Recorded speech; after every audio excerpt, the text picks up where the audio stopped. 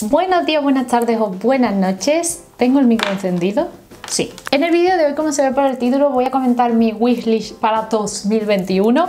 Hmm, hmm. Tengo bastantes cosas, de toda índole, no solo maquillaje. Hay maquillaje, ropa, complementos, juegos y tema mm, hogar, tema casa. Y vamos a completarlo con el anti-haul que también lo comentaré al final del vídeo. Eso no me lo he listado, voy a comentar las cosas que tengo ahora mismo en la cabeza. Como creo que este vídeo va a ser bastante mm, cuantioso en información, vamos a empezar.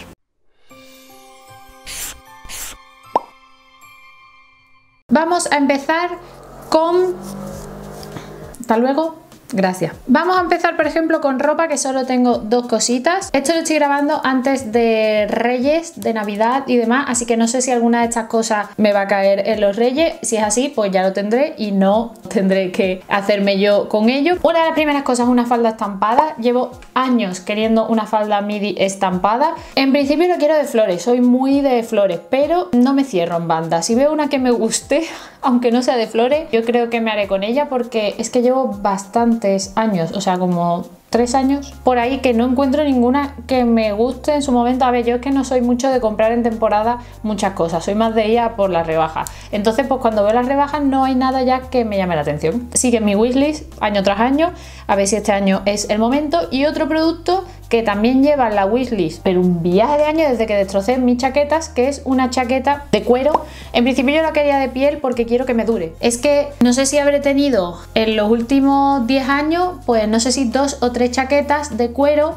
pero de polipiel. Es que me las he cargado de tanto usarlas y pues llevaré unos dos años sin chaqueta porque quiero conseguir una buena. ¿Por qué comento de piel? Porque suelen durar mucho más y yo si me dura toda la vida, pues mejor. Si me dura 20 años, pues 20 años que no estoy comprando y gastando plástico, plástico, plástico y es más duradera. Yo creo que es mejor al final para todo, tanto bolsillo como medio ambiente. Estoy buscando una que sea de calidad, pero tampoco encuentro porque las chaquetas normalmente son cortitas y yo quiero que sea una larga. Difícil de encontrar.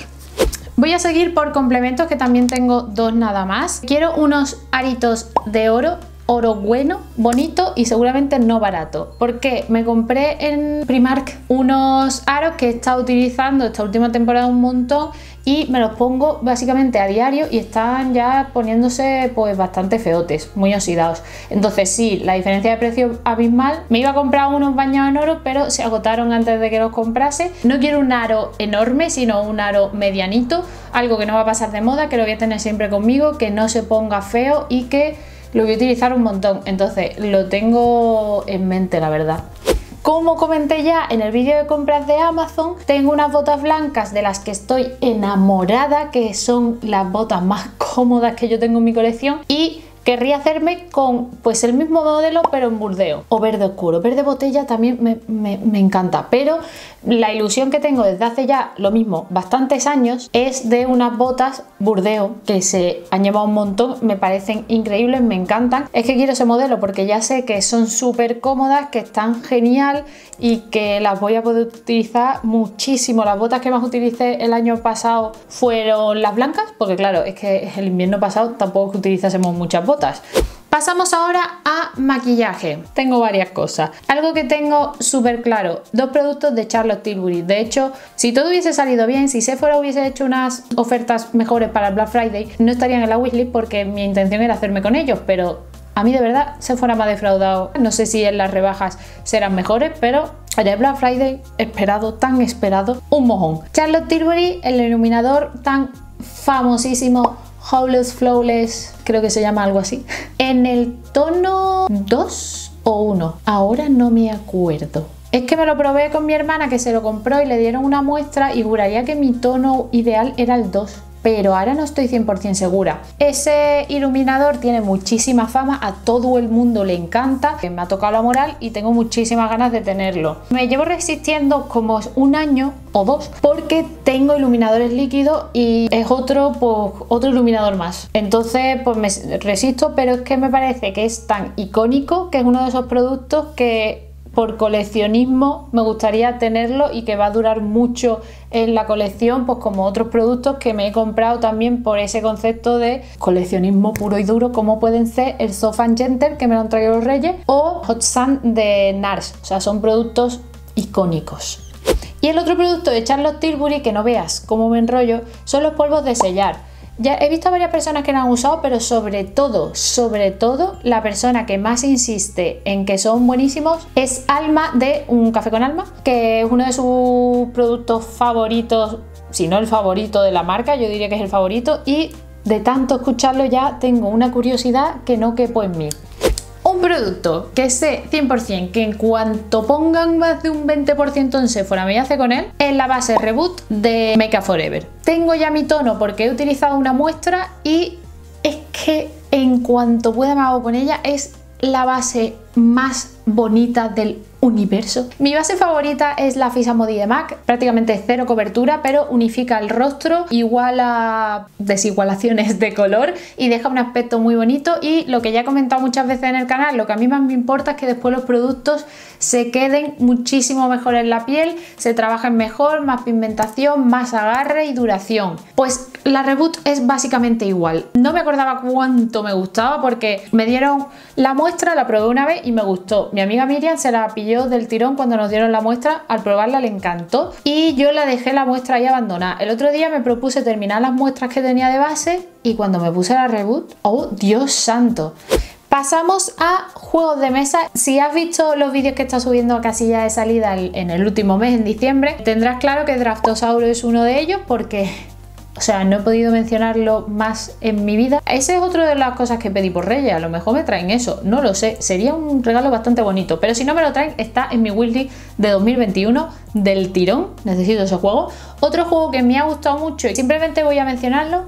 Ya digo, no voy a hablar de él. Hablaré en el canal pertinente y son ensalada de puntos, un juego de cartas muy rápido con una lógica muy fácil pero muy muy entretenido, me ha gustado muchísimo y el otro juego que es que no me canso de él, Butterfly. Este es un juego que la verdad, ¿cómo decirte? Platónico. Está en mi wishlist de manera platónica porque no está en España, no se vende en Europa, juraría, así que hasta que no llegue, pues no nos podemos hacer con ello. Ahora bien, en cuanto llegue yo voy a ser una de las primeras que se lo va a comprar. ¿Que cuesta 30 y pico libras?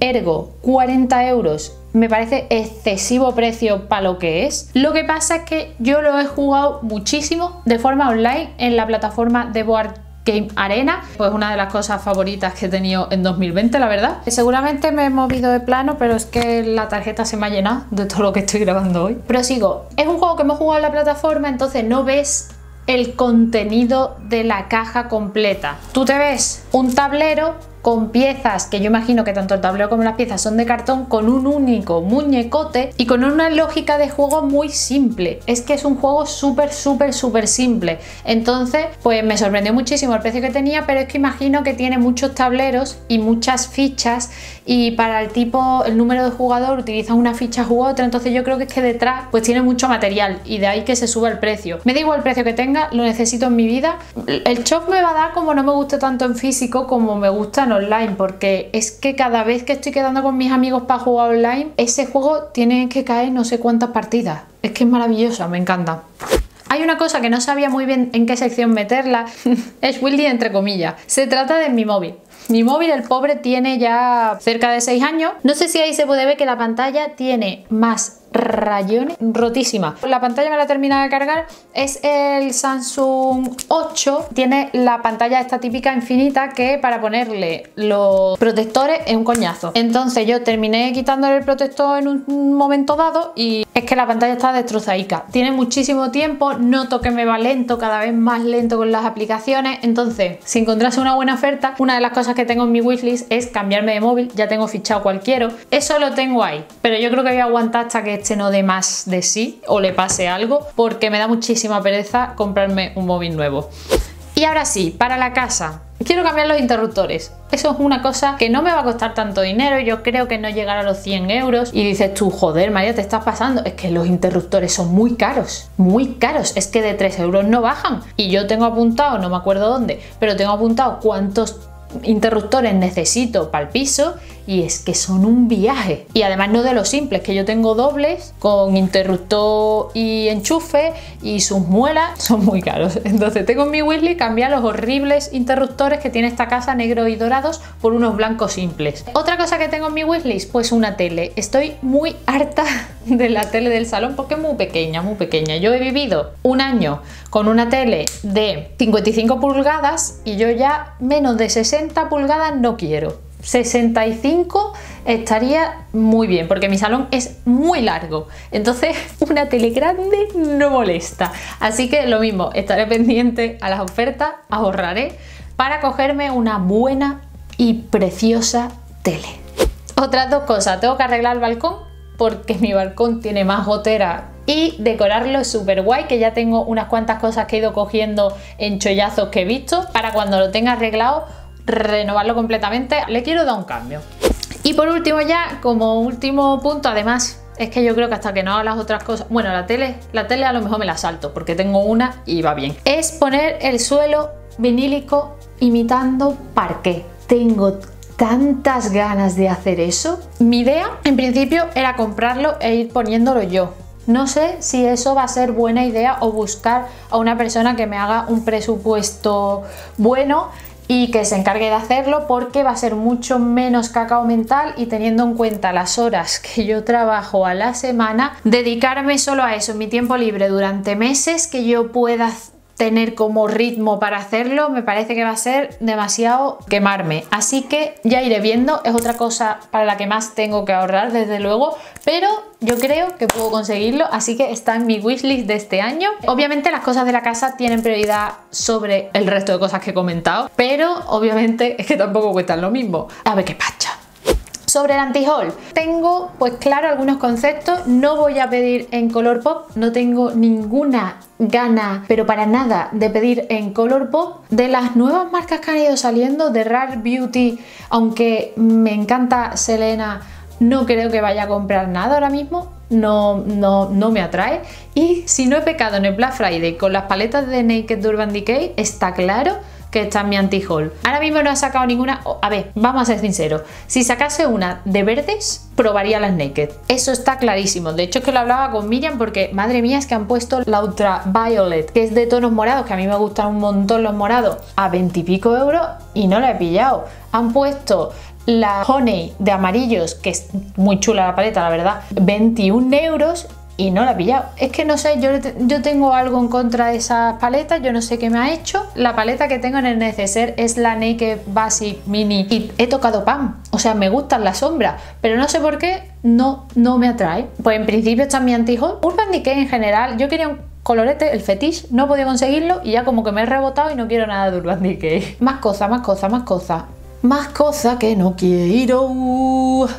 Durante el verano y demás me entró bastante ganas de probar las nuevas bases de Bell y de Catrice que han ido saliendo, pero cuando me he reencontrado con las dos muestras que tenía de la base de Clinique, que ya me he hecho con ella, y la base de Reboot que he comentado antes, se me han quitado completamente las ganas. Entonces yo creo que en general no me voy a comprar ninguna base este año, ni correctores, tengo un montón y no hay ninguno ahora mismo en el mercado que me atraiga. Hablan de algunos, pero no me convencen. Entonces yo creo que no voy a pecar con ninguno de ellos. Me pasa un poco lo mismo con Mac. Últimamente no, me llama la atención nada de lo que están sacando. En verdad es que estoy un poco apática con todas esas cosas. Y yo creo que no mucho más. Ahora mismo no tengo en la mente. Es verdad que no me prepara la parte del anti-haul. Pero bueno, tampoco seamos muy negativos. Yo creo que el vídeo es bastante positivo con todas las cosas que me gustaría tener. No sé si al final me podré o no hacer con ellas. Mi prioridad al final y al cabo en la casa. Y nada, si te ha gustado este vídeo, por favor dale a like, suscríbete para ver más como este y muchos otros y comparte el vídeo para que le llegue a más gente. Activa la campanita para que te avisen de los vídeos que voy subiendo y coméntame cuál es tu número uno en la wishlist de 2021. Nos vemos la próxima semana, espero que pases una buenísima semana y un besote gigante.